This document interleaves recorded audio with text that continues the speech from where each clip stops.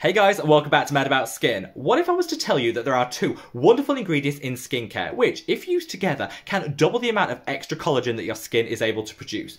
You'd probably call me a liar, but I'm here to say no. The studies are there to back this up, and I put this through its paces, tested it out, and I've got some really great results.